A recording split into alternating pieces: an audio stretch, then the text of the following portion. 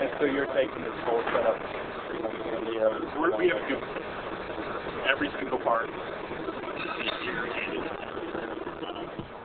we do a full safety and health and emissions test, which both of those things are, are different than how a lot of other groups have approached these markets. Um, not many groups actually have created, put this much time and effort and research into creating products for the developing world. Yeah, I think it's probably degradation over time, but Colorado State University provides a great deal of technology and expertise in this area.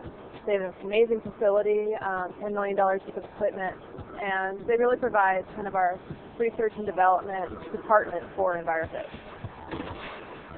Here we have our our one of our emissions test facilities. Um, this is a portable system. What we're doing right now is um, our Indian operation, where we have a product center to display our products and to help drive sales, but it's also a test facility.